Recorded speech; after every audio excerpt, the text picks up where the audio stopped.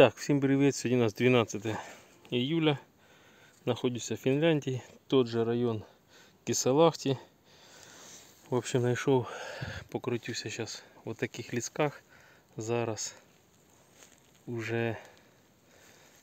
Коротше, зеленої вже нема, вже вона вся спіла. Фіни збирають е- масово. Є на кожній, де я місто заїжджав, по 3-4 фіна.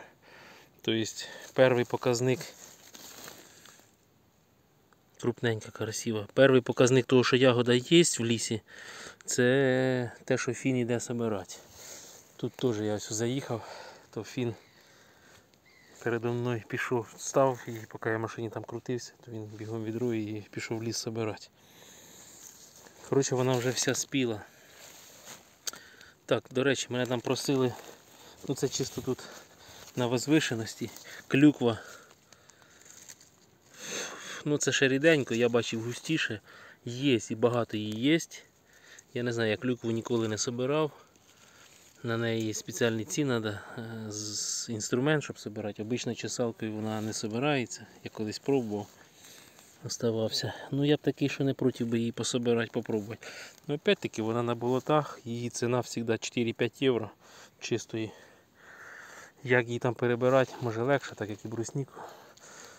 Такого мусора, як черніки, може і немає. Так, покажу, яку я ягодку собираю, як вона ось тут уся вродила. Не знаю, видно, не видно. Ну так нічого, крупненька. Натрапив така полянка, нічого. Можна собирати. Так і веселіє. Коли, не знаю, тінь затіняє. Красива ягодка. Дуже вже така. Таку собирати в радость. Ну і там воно видно. Везде є. В таких кушириках, ну ходиш, ну тим не менее есть.